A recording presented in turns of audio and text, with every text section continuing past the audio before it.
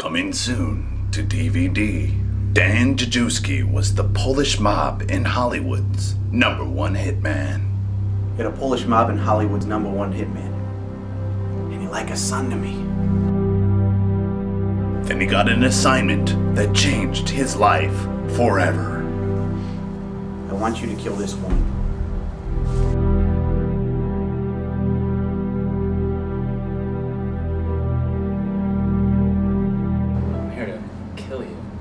Please don't. It was love at first sight. I want out of this life.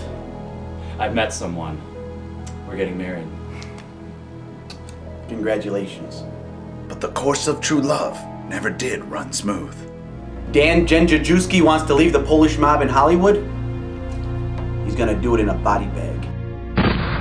In the blink of an eye, they took everything he had and left him for dead. But they didn't finish the job, and now Hollywood's deadliest hitman was even more deadly.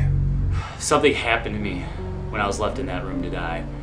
Now, every time I, I want to kill somebody, all I have to do is look at them.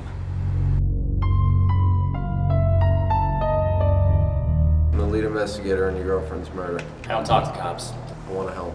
They just stay out of my way. This Christmas, the world's greatest killing machine will set his sights on the world's least famous mafia, and the body count will reach double figures. Breakfast is the most important meal of the day. It's also your last.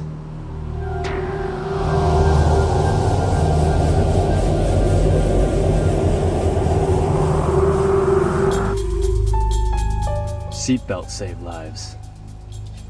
I take them.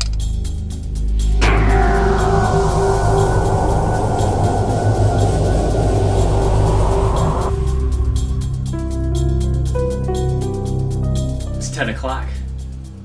Do your children know you're dead?